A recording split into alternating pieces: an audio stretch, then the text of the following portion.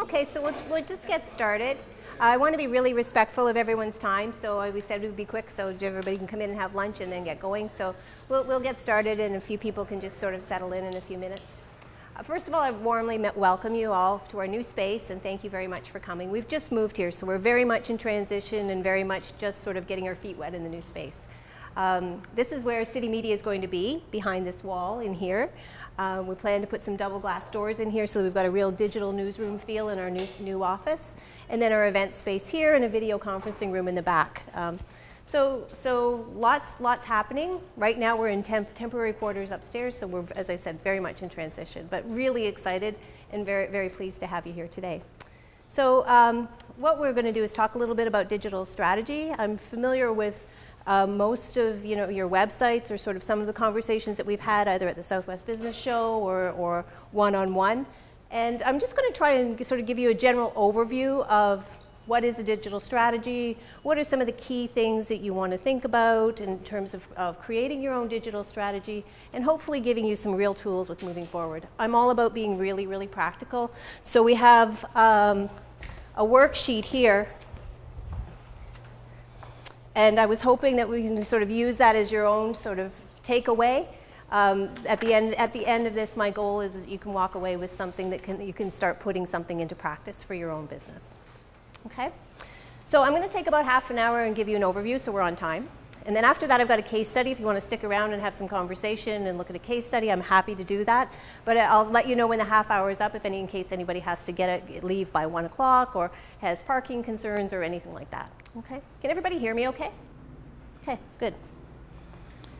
So first of all, City Media. Um, City Media is, um, we're digital experts, and we've been doing, working with digital media clients for the last 10 years. So we've been in this digital media space for a long time. Um, my background's media, started City Media 10 years ago, and have been working primarily with newspaper companies over the last 10 years, helping them help their clients get online. So that's why a lot of you probably haven't heard of us, and we've kept kind of a low profile in London, Ontario. But we do have 200 markets across Canada, and we're working with over 40 media partners um, or newspaper publications outside of the London market. So loads of experience in digital media, lots of different case studies, and lots of really relevant examples that I can give you, depending on what your business area is. Right now, we're, um, that's sort of our map of where we're located. Um, lots of strength in Western Canada, which is interesting, but sometimes that's the way things go, and some good strength in Southwestern Ontario. So our, one of our core products or our core network is Shop Local Now, and where we run about 6,000 campaigns. So you may have seen this, you may not. I'm not going to talk a lot about what we do. I'm really going to spend my time today talking about how you can have a takeaway that will help you build your own digital strategy. Um, this is the kind of network that we reach out. Again, I said I wasn't going to spend a lot of time on that. So really what we've learned in doing all of this, working with 6,000 campaigns on a monthly basis, working with that kind of volume is what are the key components that makes any digital strategy work? Because it's really overwhelming. There's so many options. And I think a lot of the clients that we deal with, there's a lot of pressure to um, work with all of those options at the same time. I've got to get on Facebook. I have to do something on LinkedIn. I have to do this. I don't, you know, I'm not using Twitter the way that I should be. And at the end of the, and at the end of the day, I always say take a step back and start with what you want to accomplish for your business, and then look at these as tools that will help support that. So not to feel so overwhelmed, and break it down into four key components. Every digital marketing campaign comes down to these four things. It's about content, great content and I'll talk about content and what kind of content really works in a digital space. Distribution, but not before content. Everything works in this order. Number one, tell your story, know your story, know your goal.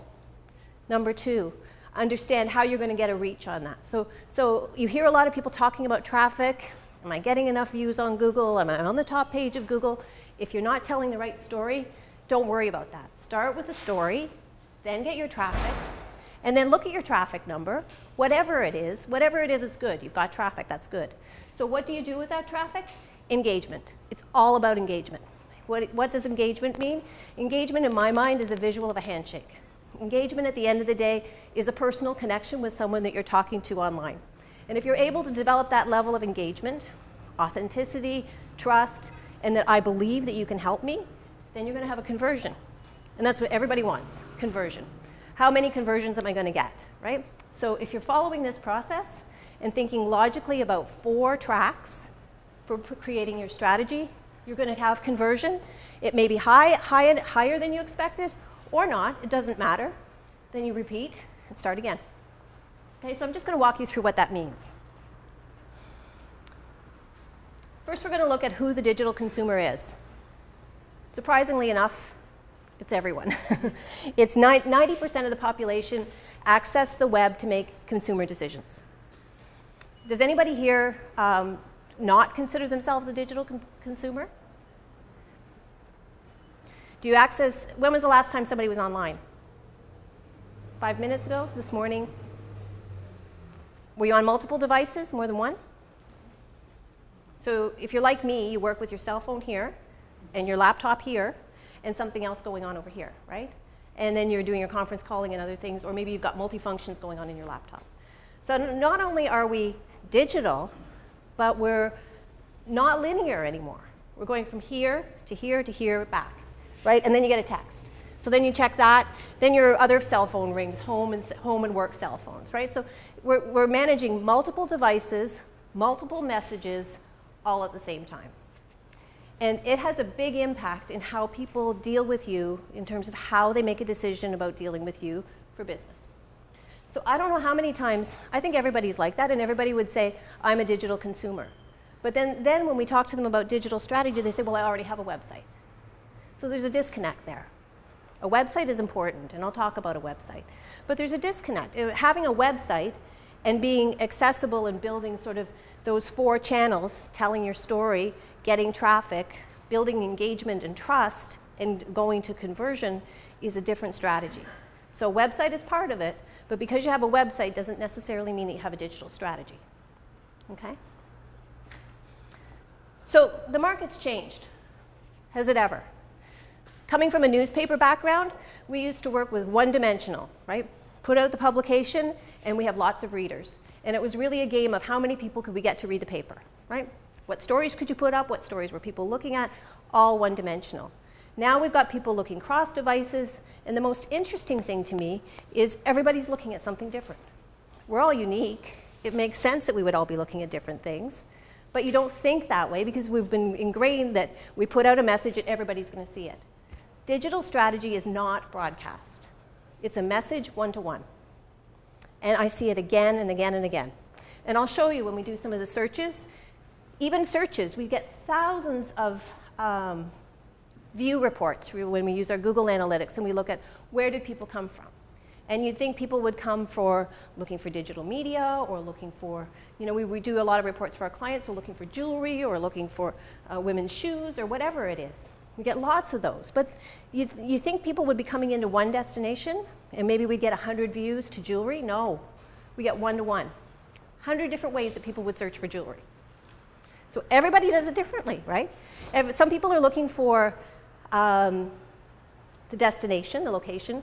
Some people Google and say that place on the corner of um, Southdale and question mark. I get half a phone number. I get the person's first name, but not the last name. Um, you get spelling mistakes in there. I mean, the, the gamut, right? Or a specific brand of shoe. Like, I know I want this type of shoe, this size, this, this, this. They put in the whole thing into Google, right? So, thinking about how you're talking to your client when they're looking for that specific message, really put on the head that you're doing one to one communication. Everybody's an individual and you're just talking to lots of people, but everyone has a different story and has a different need. And when you match that need, when you have that shoe and I put that into Google and I find that your business has that, boy, do I feel a connection with you. That's what I've been looking for, right? And so you're able to make that connection. All of a sudden, you've moved from content to traffic to engagement. Now I'm engaged because you've got exactly what I want, right? So here's our consumer. This is what we all look like every morning. You know, multi- multitasking, doing things on the way, um, multiple devices, I, I, we were just talking about the seniors, right, and that they're multitasking. This has surprised me when I was researching and I wanted to come up for some numbers for today. Surprised me to find that 55 plus do this all the time. They have their laptop in front of them, their, their smartphone beside them, and they're watching TV, texting about what shows they're watching, talking to their neighbors, you know, buying things online. So everybody is multitasking. And really, every consumer, and I'm sure you see this regardless of what business you're in, they're completely overwhelmed. So, first of all, they don't want to be sold. They, they, they, even though they're interested, or they might be interested in the product or service you offer, it's like, oh, I don't have any time. Don't tell me now. Don't tell me now, right? They're not linear, so they start talking to you about it, and then poof, they jump way over here because I've got to pick up the kids at this time and do this, and then, but they'll come back to that. It's like there's a little part in your brain that says, that was interesting, and I'll, I'll, I'll, I'll get back to that. And maybe midnight, when the house is quiet, you'll sit down at the computer or go on your phone when you're waiting for a soccer game and check that out, right? So it's not linear. It's like this zigzag ping pong thing that goes back and forth, right?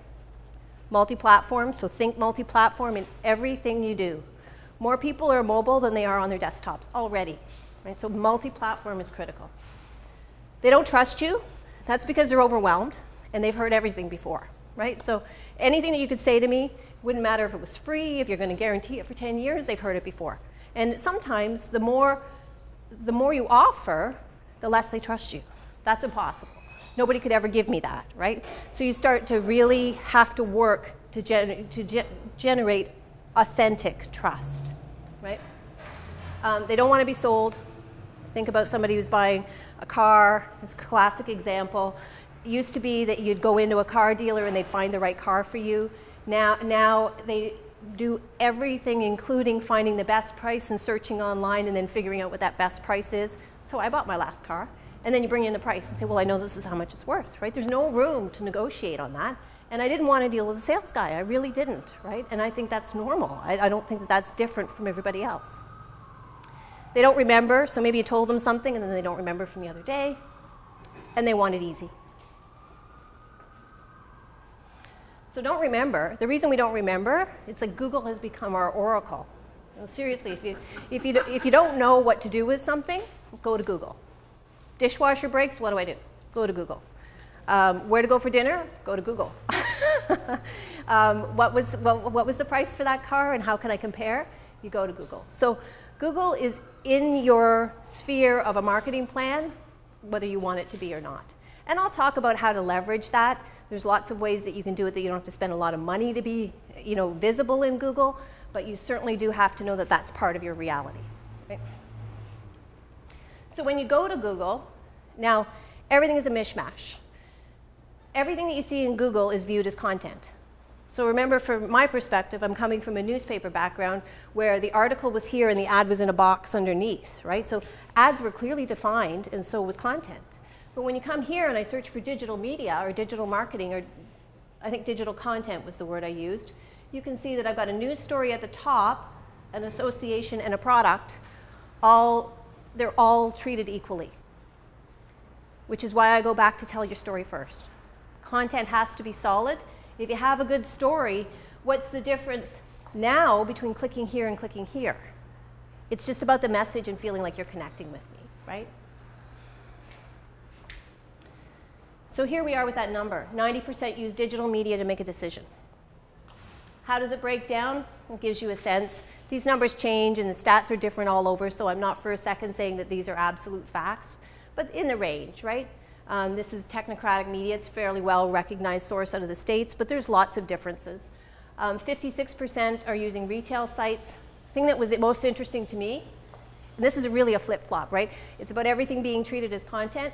56 at retail sites, 7% are news sites. Used to be everything if you could get a story about you, right?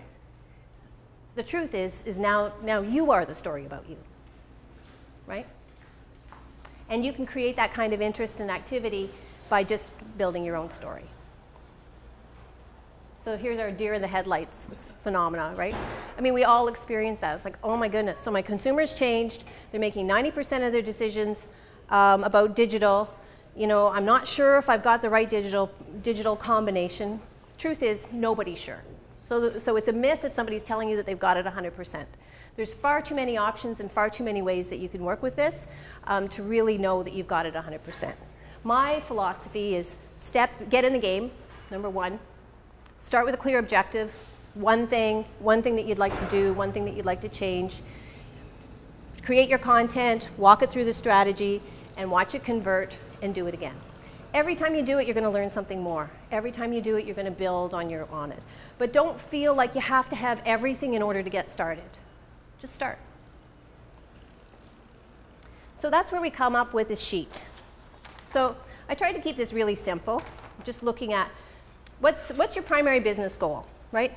First, first thing, this is about you. When you're doing your digital strategy, it's your digital strategy. So what is your primary business goal? And everybody says to me, well, I just want more business. Okay, so let's break it down a little bit more. The more specific you can be about that, the more successful you'll be. So, more business, what does that mean? Does it mean more business from existing customers? So, really, you're, you're, you're building deeper relationships because you can do that really well with a digital strategy. Or does it mean access to a new market? Because you want new customers, you've tapped out your market area, and you want to bring in new customers, then you can do that really well. But the more you can break it down and the more you can define that for yourself, the more successful your campaign and your outcomes will be. So e-commerce, just looking at e-commerce. Well, I can't sell anything on e-commerce. I challenge you to think about that. Is that really true? Is there a product mix that you could sell through e-commerce? Is there a service that you could sell through e-commerce? Is there something that you could sell outside of your market that you don't sell currently in your market? Or is there something that you could build by adding virtual customers into your current marketing mix? So these are your questions. I don't know the answers. I know that, you know, if, um, sitting down with one of us and kind of going through it, we're happy to sort of delve into that a little bit deeper just to come up with a really clear strategy. If you don't have a clear goal, you're not going to achieve it. Um, education is a big part of it. Do you want to raise your profile through education and, and building a reputation so that people know who you are. Just staying in touch with existing clients. Lots of different options. Does anybody know like right off the top, I know, I know exactly what I want to achieve. Okay. Deeper relationships with my existing customers. Okay, good, good. So with that, um, and your, your customer is, you said a 60 plus, right?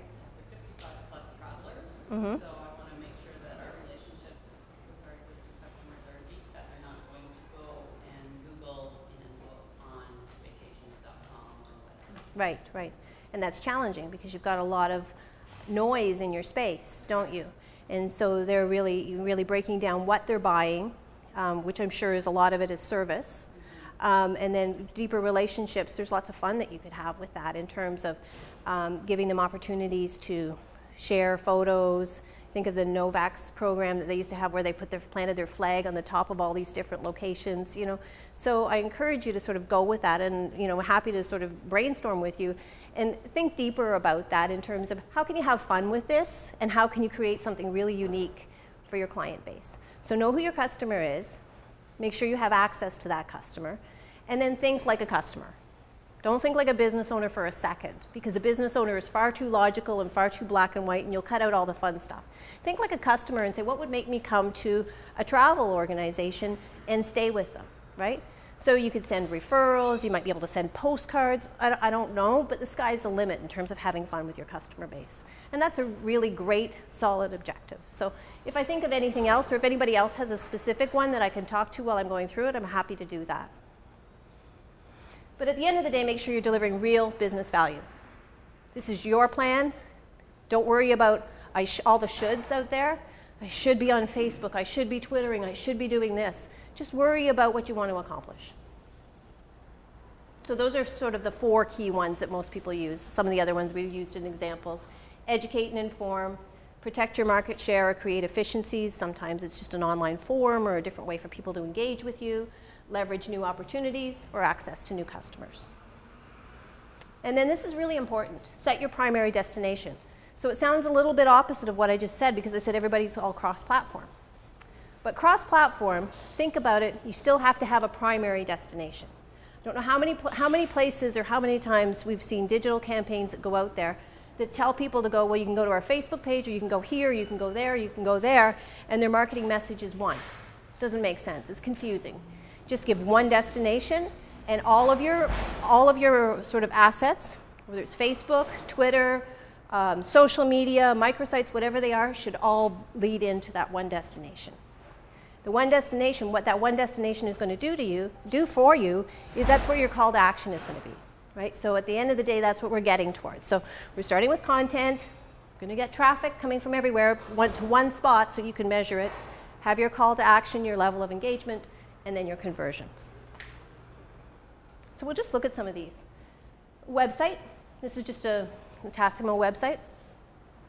Um, lots of things to think about with, with your website and your web presence most important is that it's clear. The rule of thumb when you're on a website, especially when we know that probably 90% of people either found you on Google or um, sourced some of the information on your website from Google, is two clicks away.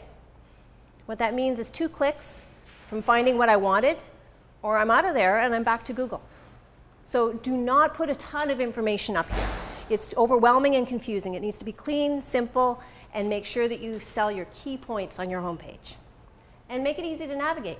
If I'm going to buy, um, shop these brewers, there it is right there on the front. I would assume, based on looking at this, their key objective is to sell more machines. Be clear, right? And just talking about websites, I have a lot of clients that say, you know, they start with a website or they've got somebody, their friend of their son's did their website, or someone from, you know, a neighbor did their website. And to put up a basic website, it's not hard, it's not complicated. The biggest problem that I find, though, is six months down the, down the road, they've gone away to school, they're not available, they don't have access to it, and you still can't get that Christmas picture off from six months ago. Happens all the time, right? And so don't get locked down by not hiring somebody who, or giving, or doing it yourself, or having the controls over your website, right? Um, just trying to think if there's anything else that's really key about the website. That'll come back to me. This is a microsite. It's a little different than a website. Difference between a microsite and a website is this principle of two clicks away. So real estate is a good example. If you've got a beautiful $2 million home and you want to promote that, you need a microsite to do that, not on your website. To say it's just on my website and I arrive on your website and you just promoted this $2 million home and I found it through Google and I end up on your site and I can't find it, two clicks, I'm out of there, right? But if you have a primary destination that is all about that home, it's like, well, call me, I want to see it, right? So just be careful you don't lose a good customer on, on that sort of level of frustration because I think we've all done it. We've all been on the other side. Hasn't everybody experienced that where you've gone to a website and they said, well, I thought I was going to find this here. And where is it, right? And you don't stay, you don't wait around, you don't pick up the phone and call them and say, hey, I couldn't find what I was looking for on your website. You go, and you're not, probably not coming back, right? So what's the difference between a website and a microsite? A microsite, um, I'm going to assume, and it should be for everybody, that you're going to have more than one business goal, right? So you might want to sell um, courses and products and services all on your website. So go back to the website. Well, how do I tell everybody everything that I do, which is everybody's problem, right? It's really hard to do because everybody does sort of a range. How do I show them everything on a website and still be two clicks away? Well, sometimes you can't, right? And sometimes, like with this new model of a car, they want to show you all the details of the car, but they also want to talk about the brand and they want to talk about their community involvement. They want to talk about all those other things. That belongs in the website. Microsite is, is, is uh, a specific mini page off of your website that we use as a destination for your marketing goal so that people can look at it. It just streamlines the whole process. They go from Google to a great $2 million house in London, Ontario, to the picture of the house to, boy, I want to see that, right?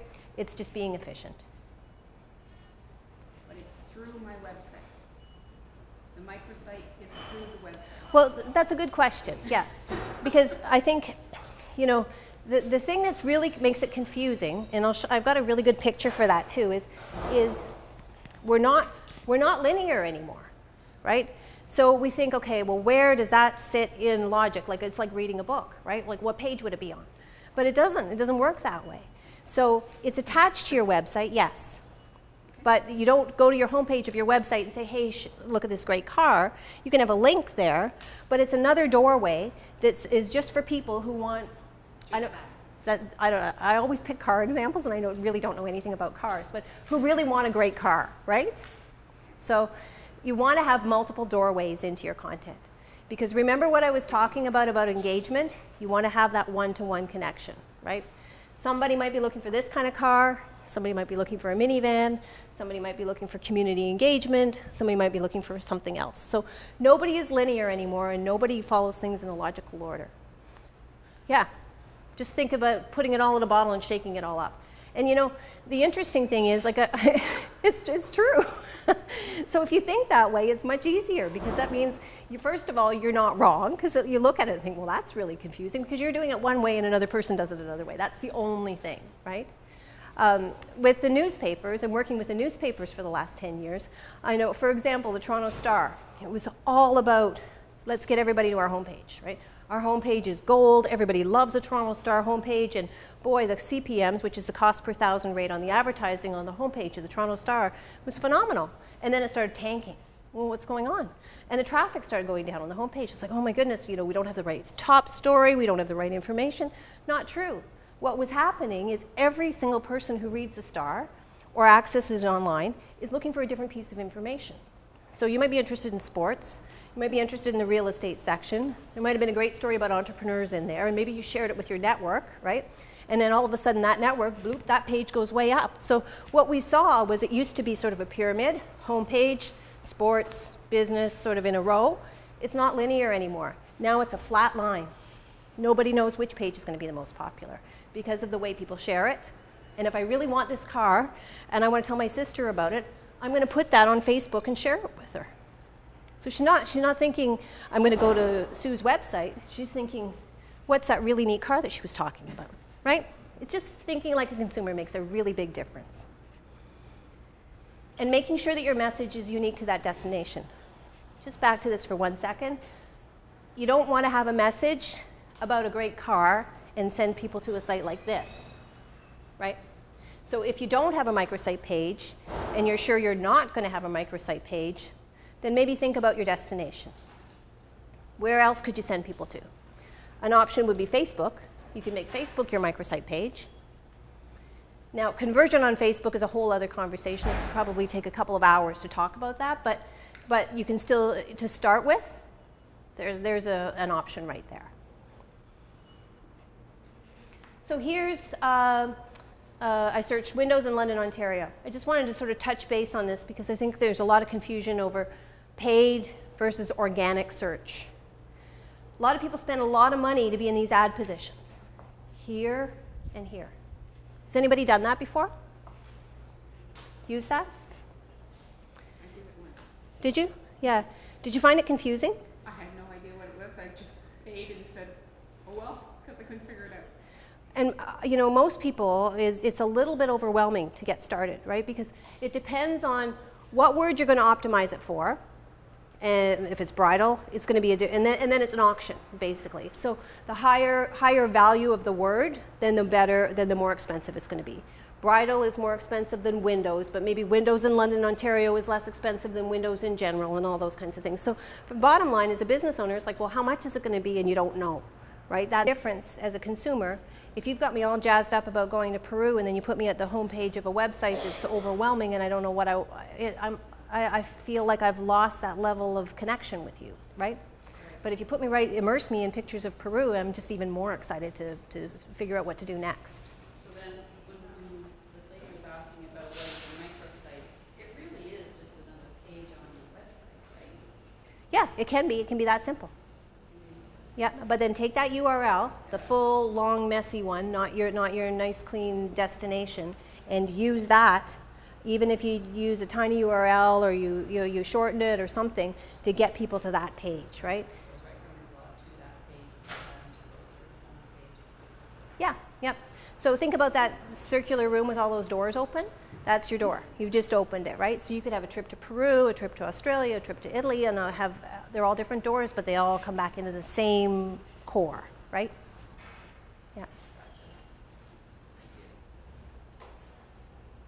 Any other questions?